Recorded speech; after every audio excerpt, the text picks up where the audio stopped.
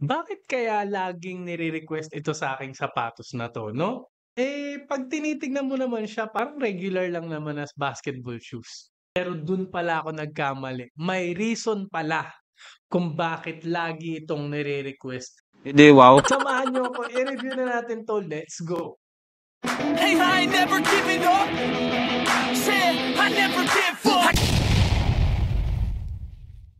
Pero bago tayo mag-start, kung first time mo pa lang sa channel na to, mga ganitong content naman yung hilig mo, mga shoe review, mga fitness related videos, mag-subscribe ka na, i-click mo na rin bell icon para lagi kang updated sa mga next videos ko. Peak Light Spirit 1. Yung una ko naman siyang tinignan sa internet, parang wala namang kakaiba sa kanya talaga. Siguro maporma, maganda rin yung itsura. Pero actually, simple nga lang eh. Parang minimalist sa unang tingin. Pero meron siyang mga ibang colorway pala na magaganda. Parang anim ang colorway nito, which is good. Marami kang pagpipilian. Pero yung pinili ko is yung black kasi maganda yung paka-black niya. Hindi ako basta-basta bumibili ng black kung patay yung paka-black. Parang regular na yun. Parang standard. Ayoko ng ganun eh. Pero ito kasi yung paka-black na maganda para may mga between-between sa langit. Punta na nga tayo sa aesthetic and material. Anyway, pinag-uusapan na natin itsura niya. Guys, unique. Parang wala pa naman ako nakitang ganitong design ng sapatos. Maraming nagkakagusto kasi ngayon sa low cut na sapatos. Parang hindi na kasi yung high cut yung uh, thing ngayon eh. Pag basketball, magaan, comfortable, parang ganun to lahat. Pero supportive and makapit. Kasi parang positionless basketball na nga eh. Wala na nga talagang center. Parang lahat pass, pero dapat lahat responsive yung galaw, stop on a dime ka. Parang ganun itong sapatos na to. Umpisaan natin sa uppers niya, no? Gumamit po ito ng mono yarn uppers. Yun po yung ginagamit sa mga premium na sapatos. Jordan 36, 37. Super breathable actually. Parang ganito. Pero very strong, very supportive. Hindi kagad masisira. Very durable. Tinatawag nila itong cool free technology. Wow, parang malamig na libre. Ang ganda ng touch dito, no? Tingnan nyo. Hmm? Ang ganda tignan. Na, ayan, no? Galing, galing. So, low cut nga. Very mobile ang paa mo dito. May TPU plate for heel stability. Meron din po siyang tinatawag nilang tenacity unit yata is for ito parang torsion plate na meron siyang vent. Ayan no? For breathability. Meron din ito guys na torsion plate. One piece na rin po siya na arch support. Galing. TPU lang siya, plastic lang siya, pero okay na din. It gets the job done. Ramdam na rin yung twisting support. Pero parang meron po siya ng lahat ng hinahanap po. Kaya hirapan dapat siyang pansinin. So dahil dyan guys, aesthetic and material, bibigyan ko po siya ng 9.5 out of 10. Hindi ko lang na perfect kasi sana carbon fiber yung ginamit. Pero okay na rin naman, malaki pa rin yung torsion plate niya. Mga premium material yung ginamit, yung uppers premium mono yarn. And gumamit po ito ng combination din pala ng mga ano, midsole mga cushioning na tinatawag nilang P Ultralight na cushion and P Zoom. Next punta na tayo sa traction and outsole. So isa to sa kanyang mga strong point kaya siguro to nire-request sa akin palagi. Gumamit po siya ng solid rubber outsole. Parang may mga between ba? Guys, hindi yan between. Mga bato-bato yan. hindi na yan yung design na parang star-stars. Madali siya nag attract ng bato. Hindi siya madaling mag-attract ng dust. Actually, parang walang dust na kumakapit sa kanya. Hindi mo kailangan punasan ng punasan ito, no? Maganda yung rubber outsole, napakapit. Stop on a dime. Pero nga, may mga bato-batong kumakapit palagi. Dumidikit sa gitna-gitna. Dahil siguro sa design ng kanyang grooves. Irregular po yung pattern. Which is nung una parang question mark sa akin. Parang kinakabahan ako baka hindi maganda yung traction. Doon ako nagkamali. Kaya pala siya nire-request kasi yun nga, stop on a dime to, mapa-indoor, mapa-outdoor, makapit kahit dusty yung court. Pero ito guys, hindi ko to masyadong marirecommend sa outdoor. Medyo maninipis yung kanyang pattern. no? Yung kanyang mga grooves. Parang pwede siyang mapunit outdoor, malalambot din siya, hindi gaanong katigasan. So, pwede naman itong gamitin sa outdoor. Anyway, Chinese brand siya. Usually pag Chinese brand, tumatagal pa rin naman sa outdoor. Pero, hindi ko ma-recommend to masyadong gamitin sa outdoor. Parang sayang. Indoor shoes nyo na lang po talaga to. Anyway, pang point guard na pang point guard to kasi napakakapit kahit dito sa ganitong weird na angle kasi guys umaangat yung outsole no? hindi naman sobra-sobrang angat may konti lang pero covered ka pa rin hindi ka madudulas makapit pa rin no? so dahil dyan guys traction and outsole bibigyan ko po siya ng 8.5 out of 10 hindi ko na perfect kasi nga nag attract siya ng bato dahil sa grooves niya and hindi siya masyadong suitable for outdoor Next, punta na tayo sa safety and support. Nagulat ako sa sapatos na to, no? Kasi pag titingnan mo siya, parang hindi siya masyadong supportive. Kasi parang low-cut na low-cut. Pero nung sinuot ko siya, ramdam ko yung lockdown. Huwag kayo iiyak. Ang sarap sa loob. Ramdam mo yung security. Para nga talaga siyang shockwave. Dahil nga siguro sa uppers niya, itong uppers na mono yarn na material, very supportive, Plus marami pang infusing. So dahil sa infusing na to, kahit pa mag-toe drag ka, tatagal, kayang-kaya niya.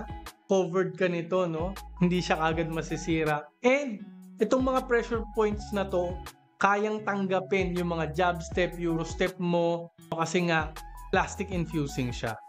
Umaangat din naman ng konti yung midsole maangat na konti dito sa, sa lateral side. So, yung mga lateral steps nyo nga, covered kayo, nag-act siya as a side wall. Pero mababa eh. Sana tinaas pa nilang konti. Pero okay na rin naman, kahit pa paano. Umangat din dito.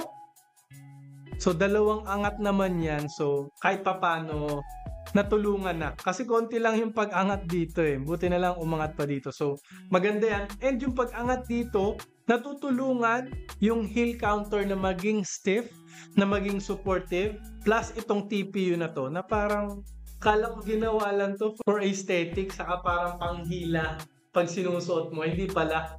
Para pala to sa support dito, no? Parang gusto ko pa ng more support dito. Sa heel counter, guys, ha, to be honest. Konting-konti lang naman.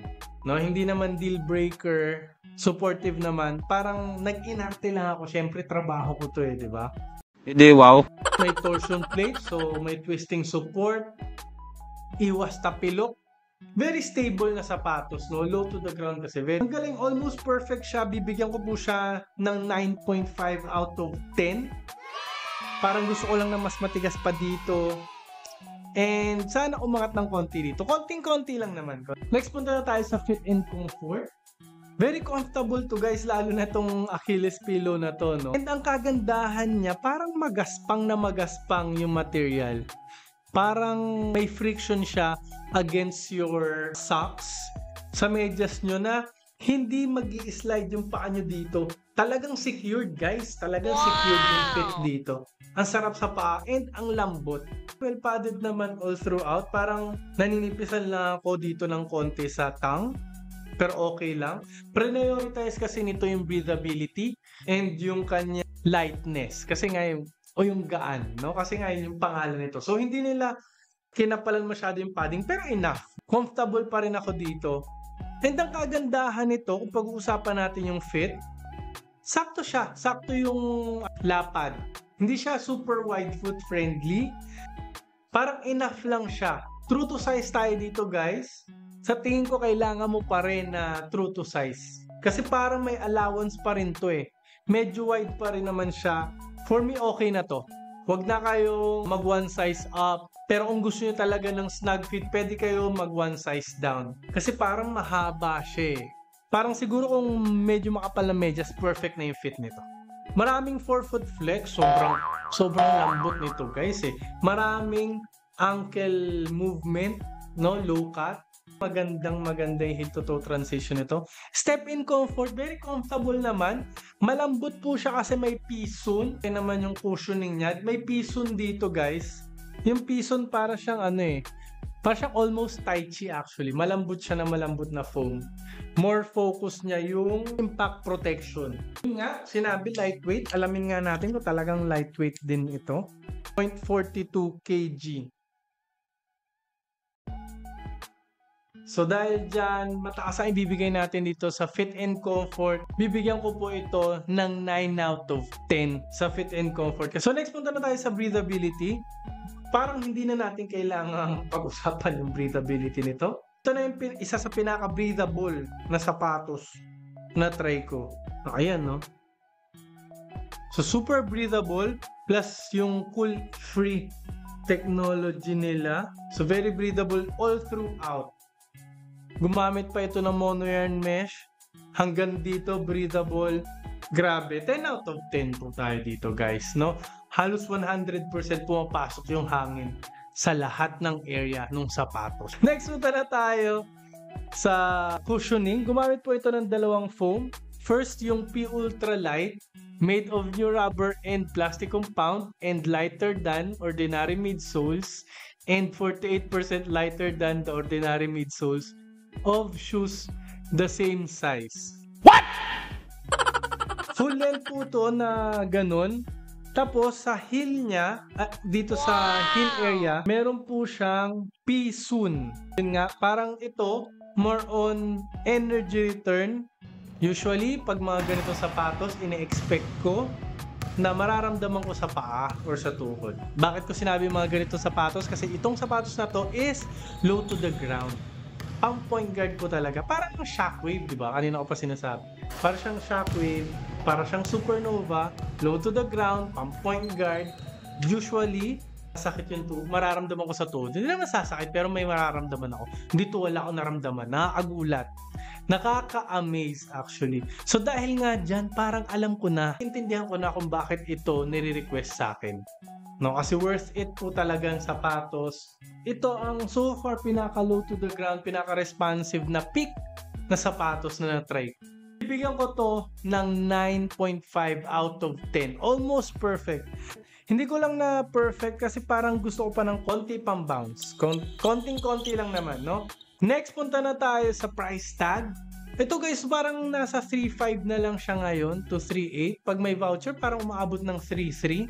So, para sa akin, ganitong sapatos, sa ganong presyo, worth it po talaga. No, okay na okay na yon Pick naman to eh. No, maganda yung packaging, mga premium yung ginamit na material. Worth it, karapat dapat lang yung ganong presyo. Actually, sulit nga eh. Magmahal pa, bibilihin ko pa rin to eh. The most breathable so far na sapatos this year, pwedeng ilagay ko na to sa top 1 most breathable shoes. So talagang highly recommended. Price tag, bibigyan ko to ng 10 out of 10. Actually, perfect price tag nito. Huwag kayong mag-alala, ilalagay ko naman yung link dyan sa baba. Sulit na sulit, bilhin nyo na. Pick po to, ah, Lazada, Shopee, legit seller po. I-click nyo na yung link dyan. Kung naghahanap pa po kayo ng mga ibang pang-point guard na sapatos, maglalagay po ako ng link dyan sa taas. No? I-click nyo lang po yan. And yung bilog dito, huwag nyo kalimutan pindutin para makasubscribe po agad kayo para like updated sa mga next videos ko. Maraming po salamat sa panonood. Mag-ingat po kayo palagi and lagi nyo rin po tatandaan to always, always drink your protein. Bye!